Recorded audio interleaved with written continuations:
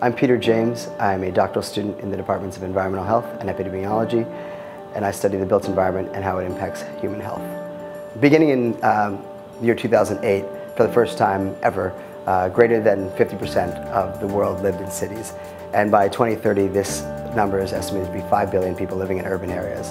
Where a person lives can determine their exposure to air pollution, water pollution, can help them to have a healthy diet, or can actually uh, give them opportunities for physical activity. I focus my work here at the School of Public Health on combining information on geographic data and health data. We can't tell people to get physical activity if they're afraid to go outside and walk around their community because of fears of crime. We can't tell people to eat a healthy diet when their only access to uh, food is at a fast food restaurant or at a convenience store.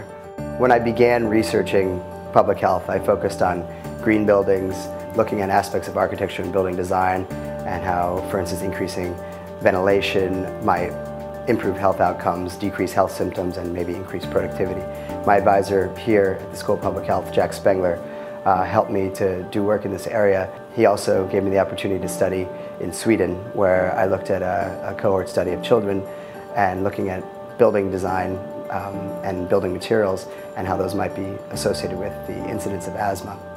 So I'd like to work for an organization that allows me to play an active role in affecting change to create healthier, more vibrant and sustainable communities. Whether it's crafting policy at a national or uh, local level, or whether it's working with community groups that are perhaps um, not usually represented in development decisions, uh, I would like to use the results of my research to actually go forward and create these changes